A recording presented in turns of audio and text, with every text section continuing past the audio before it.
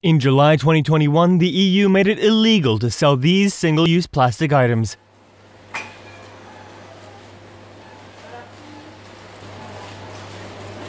Dude, look at these funny spoons I got for the picnic tomorrow. Everyone's gonna love these. These are awesome!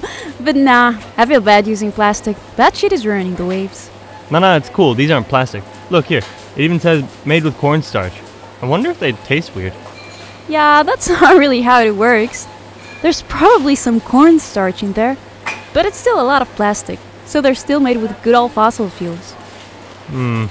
Okay then. How about these? These say they're biodegradable, so we'll just throw them in the backyard compost when we're done, and voila, no waste.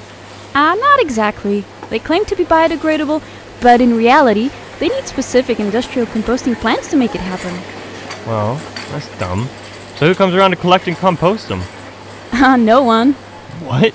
So they're pretty much lying about what it is and where it goes. It happens. That should be illegal. Well, they were banned in July, so it is. This is a message to businesses and industries. We're on to you. Plastic is plastic, no matter how you spin it. Be part of the solution instead of creating new problems. Stop selling single use plastics now.